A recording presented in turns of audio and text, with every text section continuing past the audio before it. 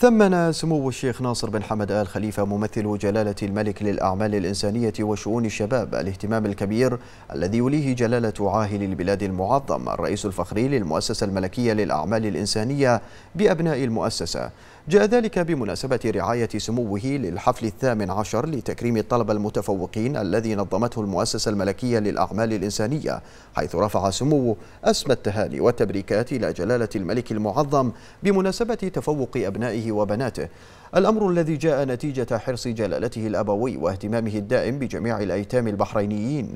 مشيدا سموه بالدعم الكبير الذي تحظى به المؤسسة الملكية للأعمال الإنسانية من قبل الحكومة بقيادة سمو ولي العهد رئيس مجلس الوزراء كما هنأ سمو الشيخ ناصر بن حمد الطلاب المتفوقين وأولياء أمورهم مشيدا بتعاون وزارة التربية والتعليم وجامعة البحرين وجميع المؤسسات التعليمية الحكومية والأهلية مع المؤسسة الملكية في تقديم الرعاية التعليمية المتميزة لأبناء المؤسسة. وخلال الحفل قام الأمين العام للمؤسسة الملكية للأعمال الإنسانية الدكتور مصطفى السيد بتكريم 736 طالبا وطالبة إلى جانب الحاصلين على جائزة ريادة وتميز والذين بلغ عددهم 19 طالبا وطالبة.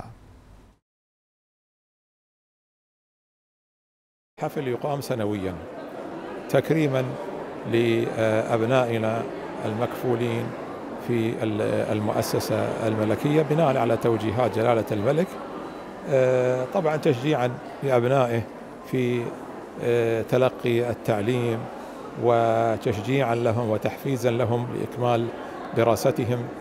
وهذا طبعا لا شك يعني من الأعمال الطيبة المباركة التي يشكر عليها جلالة الملك حفظه الله ورعاه.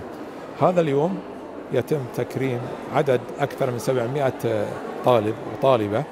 في المؤسسة. نحتفل بأبناء المتفوقين اللي رغم الظروف والتحديات جايبين علامات فوق التسعين. بعضهم كنت أسألهم في طابور التتويج علاماتهم وأما جايبين مئة من مئة أو في الآي بي أربعة من أربعة وهاي شيء رائع.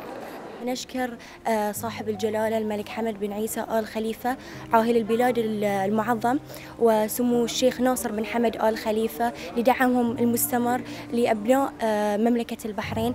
فبالتالي هذا الحفل يعطينا الدافعية والحافز في إكمال مسيرتنا التعليمية والعلمية والعملية. نشكر المؤسسة الملكية للأعمال الإنسانية على إقامة هاي الحفل آه، اللي متعودين عليه كل سنة.